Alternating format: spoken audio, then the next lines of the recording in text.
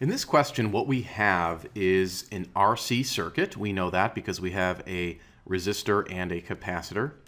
And we know that when we're charging an RC circuit, specifically charging the capacitor within that RC circuit, then we know that the potential across that capacitor is going to increase according to this expression right here. We can see that it will increase as a function of time.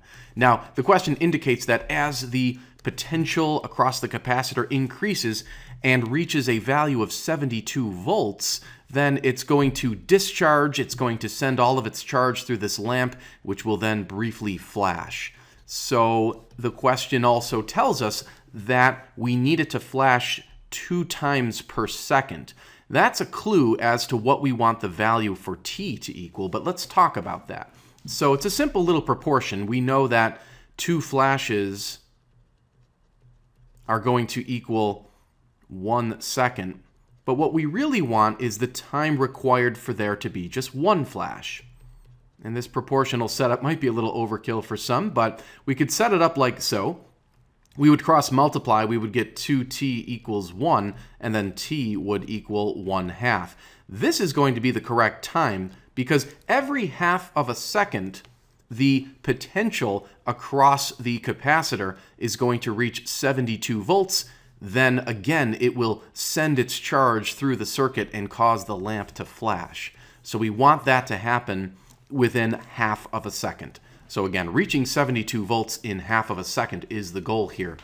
Now, the question wants the resistance for this to be able to happen. We can see in the equation that the resistance is kind of locked into the exponent of that exponential function. So our job becomes to unlock it, to solve for it. So we're going to have the potential across the capacitor. We can say VC. The question actually says VL right here. That's the same thing in this particular context. So the potential across that capacitor, V sub L, is equal to the EMF of the battery times 1 minus this exponential term. And again, we're going to try to solve this for the resistance. And then to do that, we can actually begin by dividing both sides of the equation by the EMF of the battery. That will cancel it out on the right-hand side. And now we have the potential across the capacitor divided by the EMF is equal to 1 minus that exponential term. We can subtract 1 from both sides, so then we would have this fraction minus 1 equals negative e to this negative t over RC. We could then divide each term by negative 1. So when you divide each term by negative 1, this will become negative, this will become positive, and this will also become positive. So we'll just scratch that positive sign right there. We might be better off flipping the left side at this point. We can call it 1 minus VL over EMF. It wouldn't have to do that, but it looks a little prettier. So now we have this, and we're going to next try to do something to cancel out the E. The best way to do that is to introduce the inverse function, the natural log. So you take the natural log on both sides, make sure you put this in parentheses. That will cancel out the exponential term, leaving you with this sort of negative t over rc on the right-hand side. And then the left-hand side, I'm just going to do a little copy and pasting here. You're going to have this term here.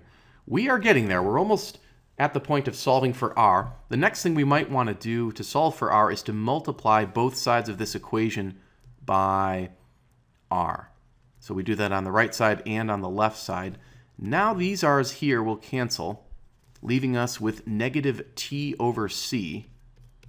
And then on the left side, we have this monstrosity here. And then finally, if we divide the monstrosity by the natural log of 1 minus VL over epsilon, and do that on both sides, then on the left-hand side, that will all cancel out, leaving us with the resistance. So it looks like the resistance is going to equal this crazy expression here. And now what we can do is plug in. You can actually algebraically simplify this. It'll help typing it into the calculator a little easier. You can multiply the numerator by c and the denominator by c. That will cancel the c's up here. So you're just left with negative t upstairs.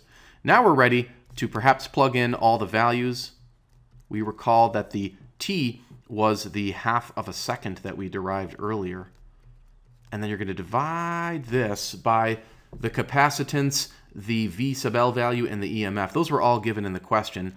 Be careful, the capacitance is given in microfarads. It's 0.15 microfarads.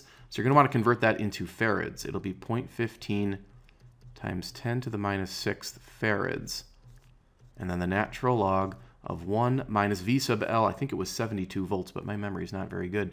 It is 72 volts, and then the EMF of the battery is 95 volts. So 72 over 95 volts. Okay, let's punch this into our calculator. And when you do this, you get a rather large number. Here's what I got. I got 2350095, roughly.